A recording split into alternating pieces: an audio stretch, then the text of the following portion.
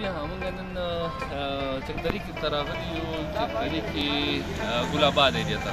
کوم ځای کې چې عارف خان دی او هغه سپاینل کاډي دی دی